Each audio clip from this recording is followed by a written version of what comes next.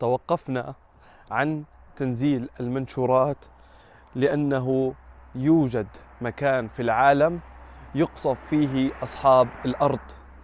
تم قصف قطاع غزة ب 25 ألف طن من المتفجرات المتطورة التي تفوق قدرتها وتفوق تدميرها قنبلتي هيروشيما وناغازاكي حيث هيروشيما وناغازاكي كانت على هدف واحد بينما للأسف العدوان قاعد بقصف أهم المراكز ويقصد القتل بأكبر كمية ممكنة.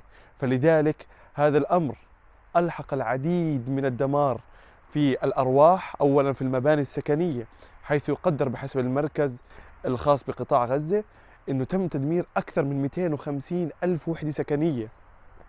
وأكثر من 50 ألف وحدة سكنية تضررت بشكل جزئي حتى موعد تحضير هذا التقرير اللي هو في 4 11 2023 ولأنه بحسب جميع الديانات أصحاب الأرض لن يخسروا أرضهم حتى وإن قتلوا واستشهدوا ودمرت المباني.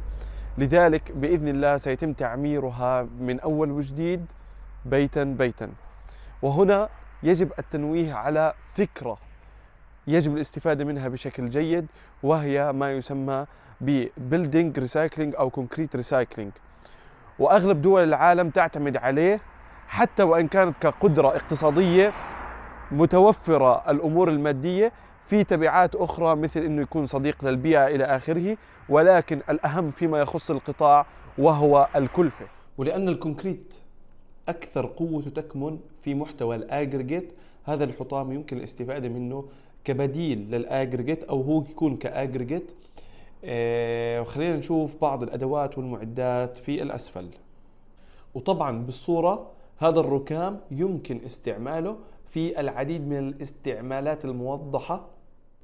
إشي ممكن يكون بالأرصفة بالشوارع في المباني نفسها بشرط عمل بعض الفحوصات اللازمة. بإذن الله ستعمر المنازل منزلا منزلا. لن تموت قضية أصحابها على حق. السلام عليكم.